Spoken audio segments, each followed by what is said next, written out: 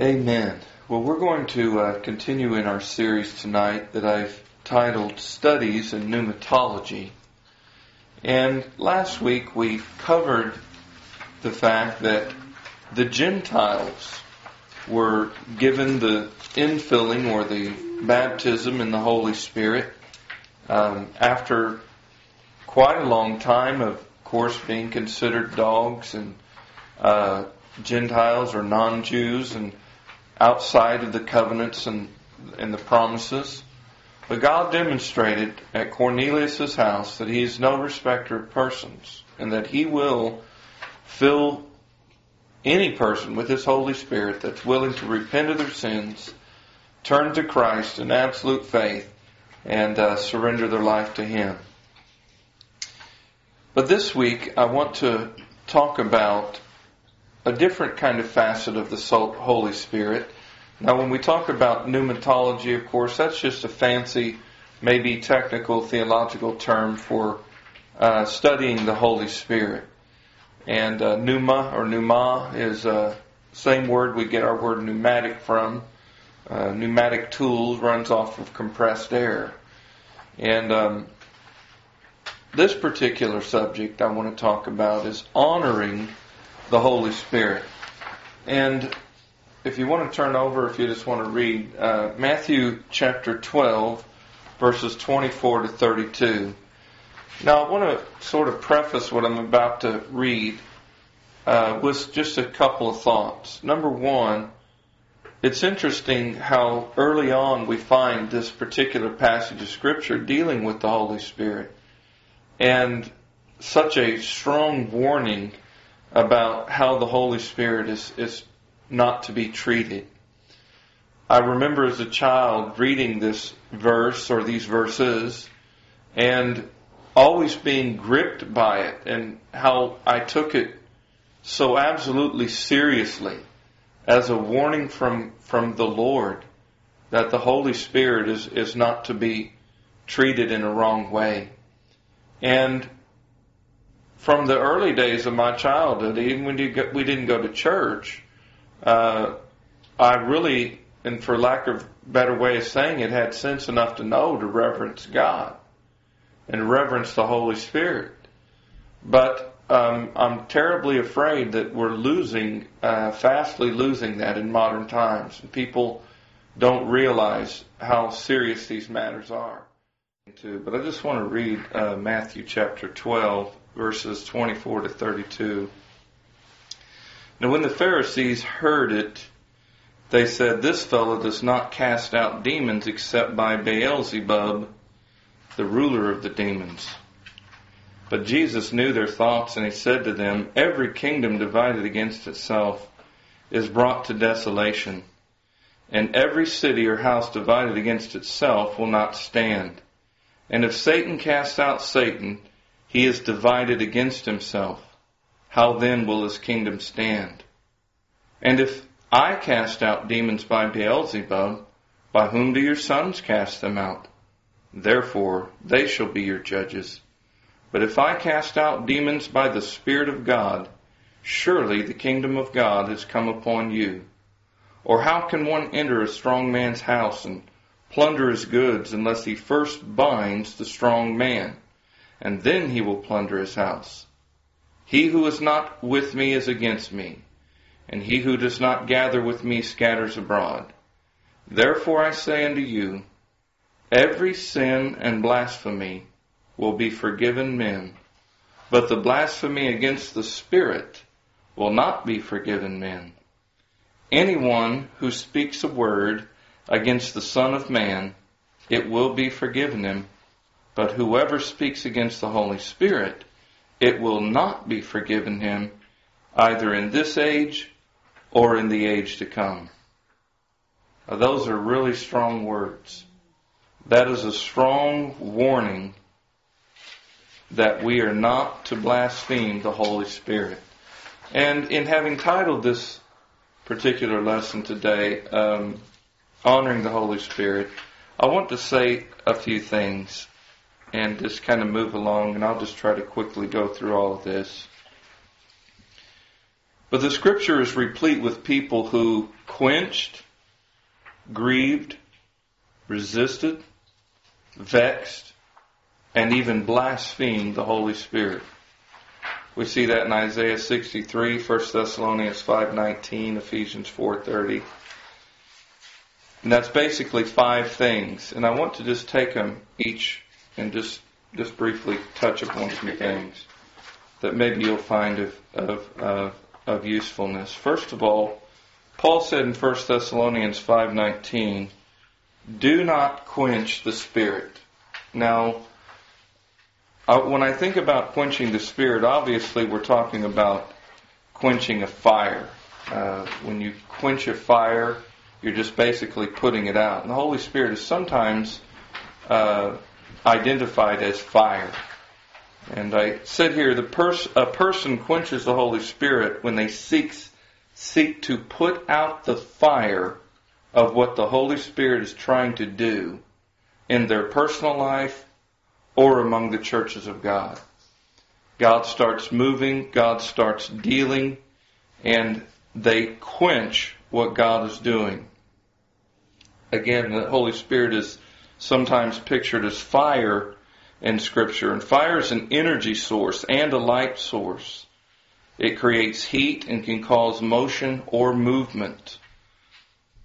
Fire must always be treated with great care. We don't really have an appreciation for fire like they did, you know, 100 years ago, 150, 200 years ago, going all the way back to, to ancient times.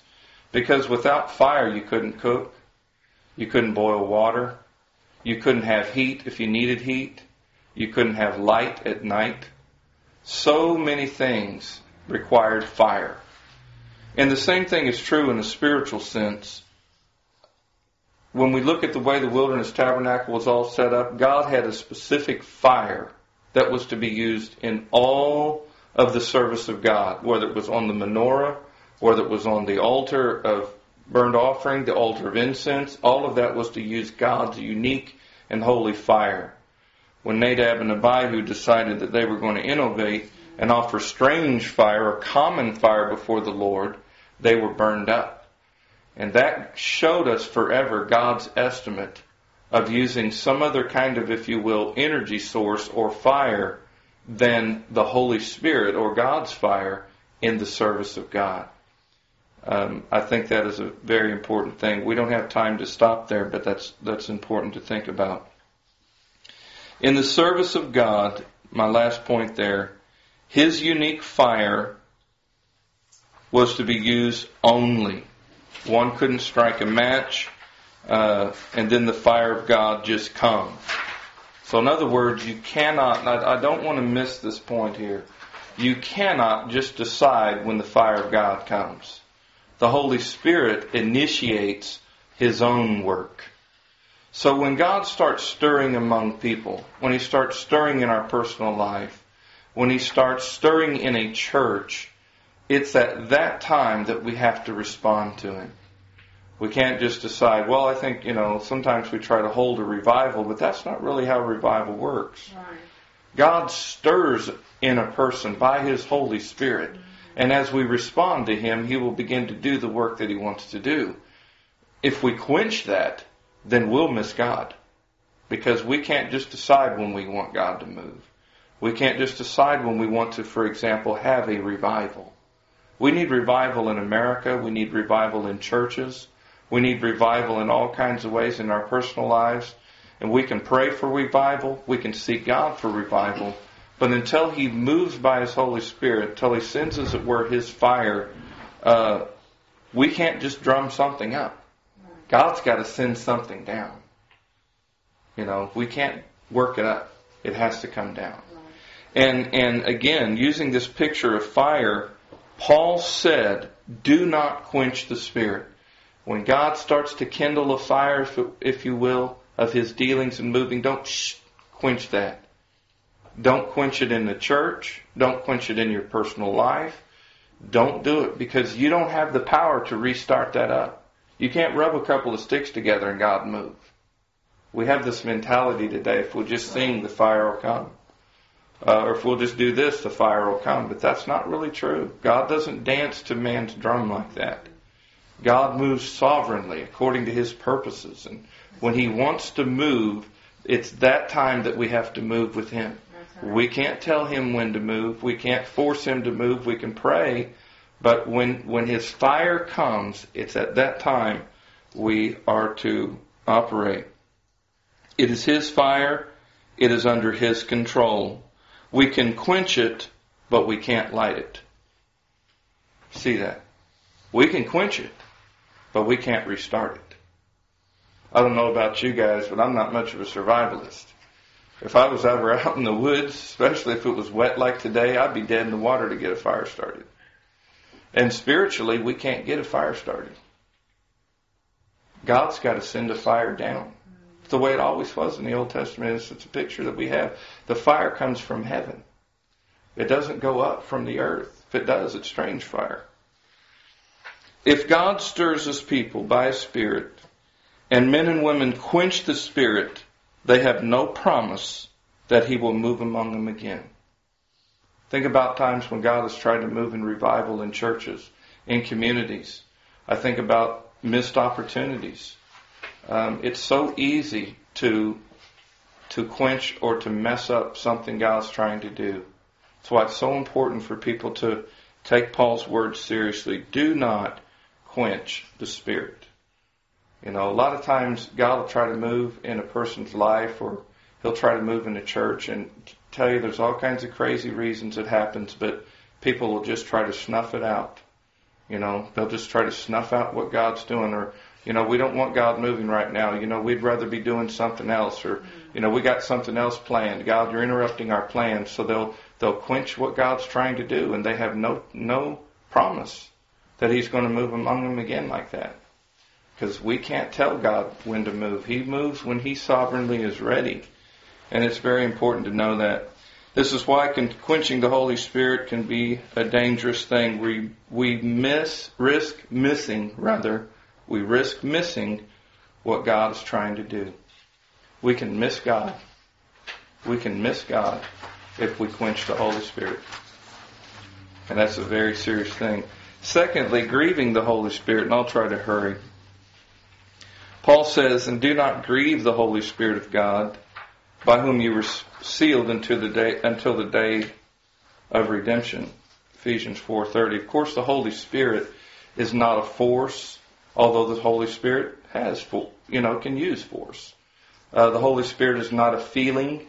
Holy Spirit is not a goosebump. It's not a sense of a presence. The Holy Spirit is a person. Holy Spirit is not a tongue. It's not a manifestation of the gift. You know, those things are all gifts of the Spirit, but the Holy Spirit is a person. And we have to think in these terms because if we don't think of the Holy Spirit as a person, we won't treat him like a person. A person can be grieved, and the Holy Spirit can be grieved. The Holy Spirit is a person who possesses what we would call personhood, and just as we feel pained or grieved when things are going wrong, so too the Holy Spirit can be grieved by people's actions. Um, we can grieve the Holy Spirit in our life. We can grieve the Holy Spirit in the church. Uh, anytime we're doing things that are contrary to what God wants to do, uh, you can pretty well know that we're grieving the Holy Spirit at some level. The Holy Spirit is grieved when believers act carnally. When we when we act carnally, when we're we're not loving, or we're doing things that are sinful, things that the Holy Spirit uh, would never at all be involved in, uh, we grieve the Holy Spirit. The Corinthians operated in the gifts of the Holy Spirit, but they were doing things that greatly grieved the Holy Spirit. I mean, here they were operating in the gifts, but where they were saying things like, I'm of Paul, I'm of Apollos. They were going and suing their neighbors, you know, their own fellow brother Christians and things like that. All kinds of different things they were doing to cause problems. They had uh, fornication in the church that uh, Paul said wasn't even like what you even find in the world. So, I mean, all these things were going on. I mean, they thought they were spiritual because the gifts were in operation, but the truth was that church was utterly carnal. And the Holy Spirit was obviously grieved.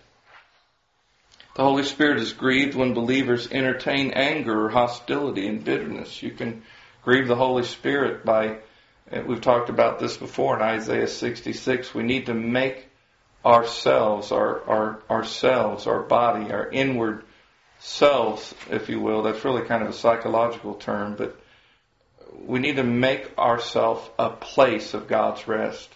And God can't be at rest if we're all hostile and, and all these different types of things. So we need to be careful uh, what we entertain in our thoughts, what we entertain in our heart, uh, whether it be anger or any other thing that would be contrary to sound doctrine, because we risk grieving the Holy Spirit um, in us. The Holy Spirit is grieved when individuals respond, refuse rather to respond to His dealings. He's grieved. And uh, we, we'll talk a little more about that in just a minute. The Holy Spirit is grieved when churches refuse to hear and hearken to what He's saying to them. Seven times in the book of Revelation, the Scripture said, "He that hath an ear, let him hear what the Spirit says to the churches." When people are not listening to what the Holy Spirit is saying, they're not hearkening to what God is saying. It grieves the Holy Spirit, and uh, it's just it's just one more kind of step in the process. Then thirdly, resisting the Holy Spirit. The Holy Spirit is resisted when a person refuses to cooperate with Him as He's dealing with them. In Genesis 6, He said, My spirit will not always strive with man, for He's also flesh. The Holy Spirit is striving and trying to get man to do what they're supposed to do and be in the image that God created them and, according to His will, but people resist. That's what uh, Acts chapter 7, Steve, Stephen said, You're stiff necked, you're uncircumcised in heart and ears, you do always resist the Holy Spirit. As your fathers did, so do you. In other words, it was a pattern over time. I mean, you go back generations, they would be resisting the Holy Spirit. Um, I, I've written about this subject along this line, but in modern times, and I, I hate to have to say this, but People want a salvation where they can keep resisting the Holy Spirit. They want a salvation where they can keep resisting the Holy Spirit. And there's really no such thing. Uh, part of getting right with God is to stop resisting the Holy Spirit. Uh, you know, a lot of people want to receive the Holy Spirit, but they're resisting His authority. They're resisting His dealings, but they want to receive. You know, and that's a dangerous thing because Paul said in one place, he said, if you receive a spirit that you've not received, as it were, from us. I mean, people, there's no telling what people are receiving when they're trying to receive something, but inwardly they're rebelling against God. But they're wanting power. They're wanting all, to be able to operate in the gifts of the Spirit, but God hasn't established His authority in their life. So they open themselves up, in my view, to demonic spirits. All kinds of things. It's dangerous stuff to resist the Holy Spirit. The Holy Spirit is resisted when he brings conviction of sin and the person refuses to acknowledge what the Holy Spirit is convicting them of. I'm going to say that again. The Holy Spirit is resisted when he brings conviction of sin and the person refuses to acknowledge what he is convicting them of. When God puts his hand on something in our life, we need to acknowledge it. Lord, that is sin. And I renounce that. You know, I'm not going to call it a mistake. I'm not going to, you know, pretend like it's not happening. When God puts his hand on something, we need to acknowledge it or confess it. 1 John 1 and 9 says if we'll confess or acknowledge our sin, he's faithful and just to forgive us and cleanse us from all unrighteousness, but we have to acknowledge, and that's the hardest thing to get people to do. People just don't want to acknowledge that they've done wrong, that they are wrong, or any of these uh, types of things. The Holy Spirit is resisted when God's voice in the mouth of his ministers is declaring the righteousness of God and the people refuse to listen. The Holy Spirit, when he comes, Jesus said, he will convict or convince the world of sin, righteousness, and judgment. When a person gets up and preaches righteousness, and the people listening are resisting, not wanting to hear it, they're resisting the Holy Spirit. There was a point in which God told Samuel uh, when the people wanted a king, Samuel was very grieved. And um, God basically told Samuel, He said, they haven't rejected you, they've rejected me. And people think that when they're hearing a preacher preach that they're rejecting that man's word. But if he's preaching, especially under the inspiration of the Holy Spirit, what God is saying, in other words, the voice of God is in the mouth of that person, preaching righteousness, trying to see them straighten up and turn and fly right, if you will, they're not resisting the man. They're resisting the Holy Spirit. Right. And it, it gets to the point to where in resisting the Holy Spirit, it, it's not just a passive thing. Because if you look at the Greek term, it actually means to fall upon somebody. To fall on someone. You remember how when you know, David's mighty men would fall upon somebody, or the young men fell upon him. You read this in the Old Testament. Well, it, it's it's not a passive thing. It's it's a it's an aggressive attack that begins to start to happen, and that's exactly what happened to Stephen. He said, "You do always resist the Holy Spirit," a word that's a militant word. Next thing you know, they drug him out of the city, stoned him to death, snuffed the voice out. See the Holy Spirit was in him, speaking to them, and to shut the Holy Spirit down, they killed the man. Pattern that went all the way back in the Old Testament. They killed many of the Old Testament prophets because they were full of the Holy Spirit speaking on behalf of God. People didn't want to hear it. The Holy Spirit is resisted when a person obstinately refuses to obey what they clearly know is God dealing. This is more than a passive resistance. The religious, religious leaders attacked those people in whom the Holy Spirit inspired to speak on behalf of God. Stephen is one of many in a long line of men who were killed because they spoke prophetically what God was saying. The Bible said in the last days they will heap to themselves teachers having itching ears. They want their ears tickled.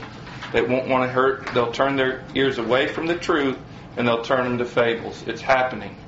It's happening every day in modern times.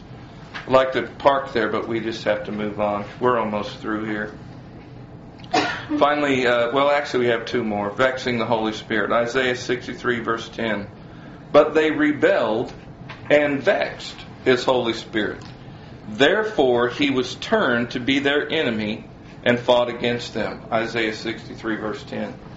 That word there, vexed, is the same word that's used in Genesis 6 in the Hebrew to describe how God, as it were, felt about how the people had become uh, so evil that the earth was filled with violence and all other kinds of stuff. And it grieved the Lord in his heart that he had made man. And that same word is, is used here in, in the Hebrew. I'm sure Drew would be able to point that out much easier than I could. But it's interesting to note that in both cases, this is not a kind of passive grieving of the Holy Spirit that we read about in Ephesians chapter 4. This is a, a whole different level because in Ephesians, uh, uh in Genesis 6, God destroyed the world. And in Isaiah 63, God turned, listen to what this scripture says, and he turned to be their enemy and he fought against them. That's how bad they had grieved or vexed the Holy Spirit that God turned to be their enemy. So again, these are these are very, very, very strong warnings. Uh, I think the Holy Spirit is vexed when the people who were called to be God's unique possession turn out to be as bad or worse than your average sinner. When they started doing things in Israel that you know the people who did before them, then God was just vexed, you know, and grieved, and He turned uh, Isaiah 63 tells us. The word vex is akin to the Greek word for grieved in Ephesians 4. Uh, and whereas the Holy Spirit can be grieved in the life of a believer, he becomes vexed when all attempts to rectify the behavior have failed. God tries to get people to straighten up, they won't respond. So he's vexed. And the next thing you know, there begins to be a turning. And that's a very, very dangerous thing, especially in a person's personal life. The Holy Spirit can be grieved in such a way that he leaves the person to themselves. He will leave a person to themselves. That's the worst that's the worst kind of judgment when God just says, Okay. He backs off, stops dealing with you. Worst kind of judgment of all. I mean, what could be worse? I mean, when God quits dealing with you, I remember my Uncle Jay saying one time, of course, he was uh, he was divorced when he was young, younger, and he looked at me one time. He'd been drinking, and I remember I was a young man. Never forget it. Might have been eight years old, nine. He looked at me. He said, "Robert," he said, "when you stop talking, it's over. When you stop talking, it's over." And I was just young. I was like, what, what, you know, what do you mean, Uncle Jab? I was a young kid. But years later, as I become an adult, I reflected on those words because I never forgot them. When the communication ends, the relationship's over. That's true personal relationships. That's exactly right. And that's what he was saying. That's when his marriage ended, was when the conversation stopped. And that's what ends up happening with people when they resist the Holy Spirit, quench the Holy Spirit, resist and quench, and they keep on fighting the Holy Spirit. They get so hardened, and then finally God just kind of steps back and leaves them to themselves. And the book of Romans said, Wherefore God gave them over to a reprobate mind to do those things which are not convenient. It's a dangerous thing to resist the Holy Spirit because He will not always strive. One of the first things He taught us in Genesis 6 God will not always strive because He's also mortal. I mean, these are early foundational things in the Bible. But at any rate, in Genesis 6, God was grieved that he had made man, the same word is used in Isaiah 6 3.10. It's translated as vexed. In Genesis 6, he destroyed the world and the people to save Noah and his family. In Isaiah 6 3.10, he turned and fought against his own unique people and became their enemy, if you will. And finally, in this section, King Saul vexed the Holy Spirit, and God sent a demonic spirit to trouble him. That's an example of how, you know, it's interesting. When you look at Saul, he started off well. You know, it's like God gave him his Holy Spirit. But over time, even though God had blessed him in this way, never took away his own individual will.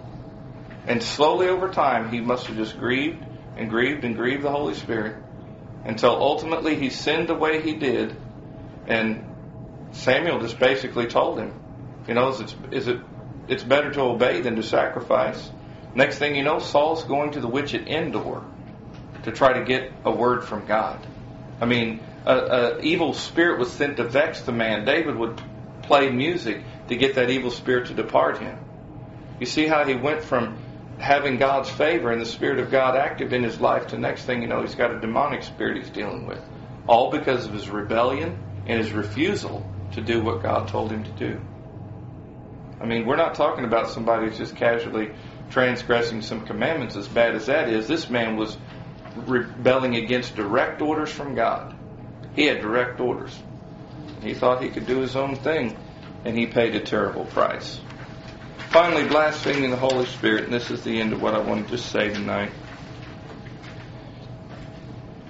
Matthew says, Whoever speaks against the Holy Spirit, it will not be forgiven. I think that's supposed to be Matthew 12 there. Either in this age or in the age to come. I don't know about you guys, but that is very sobering to me. I remember again as a child, just people would give a message in tongues and I would just freeze. I wouldn't move. Somebody would talk about the Holy Spirit or being in a service and there was just a reverential. I wasn't terrified like I was in a haunted house. A lot of people just like to mock and talk about the fear of God. They're not even serious. They like to mock about these things. Oh, the no, no, no. There was a reverential fear that would come that you knew God was present and you just didn't do all these silly little things. And I, I remember that as a kid, but as, as people become more and more familiar, at least in their mind, with the presence of God, they get more careless. They get more reckless. They get more boastful.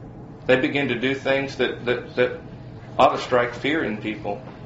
It ought to strike fear in a sinner, but they don't think anything of it. You know, uh, people mocking people speaking in tongues and, and pretending like they're speaking in tongues and mocking and carrying on and acting like they're being touched of the Holy Spirit and making a joke of it. I don't know how you guys feel about it. That scares me. That scares me when people make fun and make light of the moving of the Holy Spirit. You think sometimes people who are doing those things don't necessarily realize what they're. I, I would say that if it's a sinner, But when you have church people doing it, I don't really, I don't really know. You know, the only thing I could say is it, it's just a dangerous commentary on where they are spiritually. Yeah. To me, it's just a dangerous commentary on where they're at spiritually. Well, that's true. Because I, I couldn't, I couldn't even conceive of just right now making a joke of the Holy Spirit, making a joke about how, and doing something silly to kind of mock somebody maybe uh, being touched of the Holy Spirit. I, w- I would seriously, I would rather probably be put to death than to do something like that. That's how strongly I feel about it. But that's because I take seriously Matthew chapter 12. Think about it like this. You remember when uh, Simon uh, the sorcerer and Peter were kind of conversing, and here's Simon, Peter, he's laying hands on people. Simon the sorcerer sees that, like, ooh, I'd like to have this power. He had been baptized, he had already kind of made a profession of faith. Mm-hmm. But here he is. Peter says later, Your heart is not right towards God. Right. That's what he told him. Your heart is not straight. That's your Greek word. Towards God. What did he say? I'd like to buy this power for with money so I could lay hands on people and they could receive the Holy Spirit. Peter's like, whoa, whoa, whoa. And, and what he says to him strikes fear in me. He says, Go and pray to the Lord if perchance the very thought of your heart will be forgiven. It's almost like he didn't close the door to the possibility of forgiveness, but it was on its way to the latch. And he said, You better get it together right now because you have just about crossed the line. See, but people don't think that way now. I mean, they do the most flippant things about the Holy Spirit, you know, and in, in the way that they minister and the way that they make merchandise of the gospel and all these types of things. I mean, it's just Simon the sorcerer all over again. But people don't think anything of it. I think we need a very healthy dose of the fear of God to return to us in these last days because people are, are getting I mean we live we live in a society that likes to laugh at everything. Everything's got to be funny. Everything's got to feel like a sitcom. If you're too serious, there's something wrong with you. And but but that's the society we live in. But when you take that approach to, towards the Holy Spirit, that's dangerous. I mean, just ask ask Belshazzar how serious things can get. He looked up and the wall, hand appeared on the wall, and mene, mene tekel or however it's supposed to be pronounced. It is just bad, but the Holy Spirit is blasphemed when his workings, first of all, are knowingly attributed to Satan as or, or to an unclean spirit. They told Jesus, You have an unclean spirit, or that's Beelzebub. Well, no, that was the Holy Spirit at work. And they knew really what they were doing. So uh, Jesus warned them. He said, All manner of blasphemy will be forgiven, but not the blasphemy of the Holy Spirit. People try to dance around that verse, but I tell you what, when your soul's on the line, you better take the most conservative interpretation to that. You don't want to be blaspheming the Holy Spirit. The Holy Spirit is blasphemed when he is abusively spoken against. The Holy Spirit is blasphemed when he is lied on. Uh, that's one of the ways the word blasphemy is used. The Holy Spirit is blasphemed when false claims are knowingly made related to him. To say something is of the Holy Spirit that is not the Holy Spirit is dangerous at best and blasphemy at worst.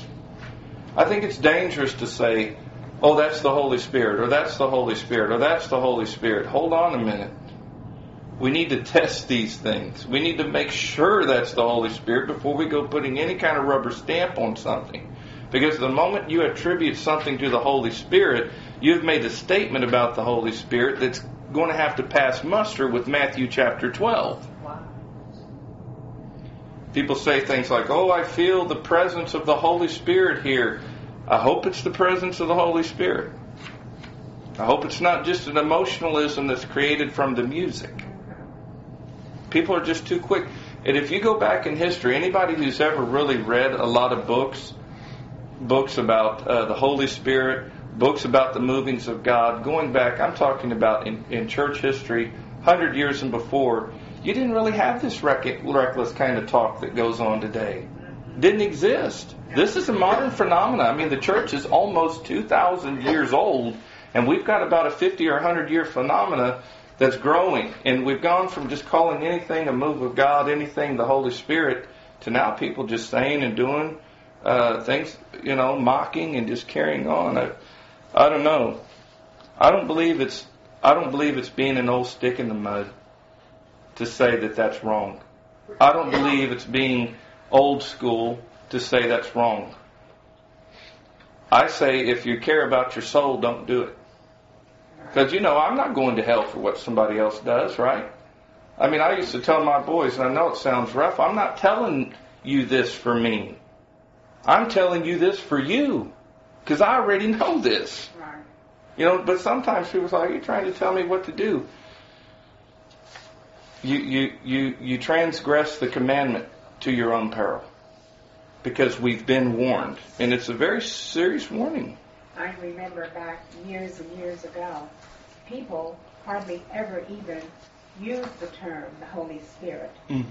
unless they were teaching on the Holy Spirit, something about God and the Holy Spirit, unless they were teaching about the baptism of the Holy Spirit or something about the Holy Spirit.